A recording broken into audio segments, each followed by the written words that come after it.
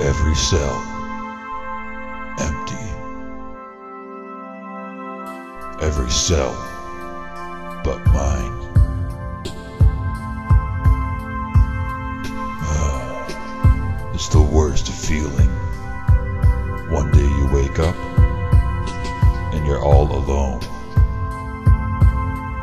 I can leave whenever I want. No inmates, no guards. Been about 72 hours since the locust plague hit. I've been too afraid to move. This rusty sink is the only reason I've stayed alive this long. There's still some food left over. Not that I would trust it when it was fresh, let alone after sitting for 72 hours. Unless I want to starve to death, I'm gonna have to get out of here. Unfortunately, this place is. Nobody does. But one thing's for sure.